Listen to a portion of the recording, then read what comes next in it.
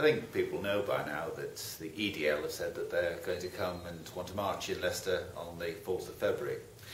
Uh, obviously, we've had them in town before, back in October in 2010, and know that that was pretty disruptive for our city.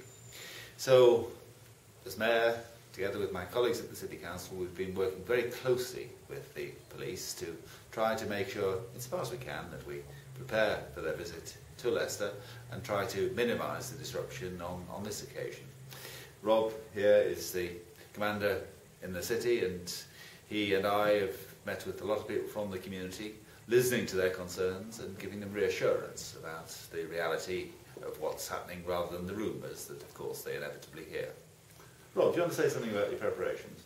Yeah, I think it's um, very early at the moment. We've uh, made contact with the organisers. It's a local organiser.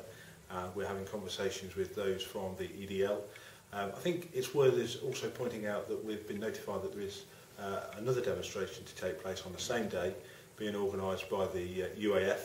Um, our role is to facil facilitate a peaceful demonstration um, and to that aim we're looking at what we did in 2010, also the disorders that occurred in uh, 2011 and drawing the good practice from both of those uh, to see with the, the best plan that we can put together uh, to minimise disruption as much as possible for the city centre.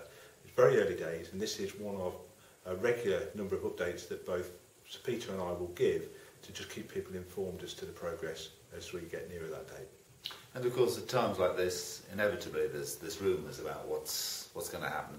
Well, they are just that. I mean, they are rumours. And I think if people want to find out the reality of what's happening, they only need to contact Rob or one of, one of, his, one of his people or contact us at the City Council. And uh, we'll be able to actually explain to people what is really happening and what we really know rather than people relying on rumours. So uh, I'm sure you know, we just want to encourage people, if they have any questions, to, uh, to contact us and uh, we'll do our best to respond and to let people know what's really going on out there. Thank you.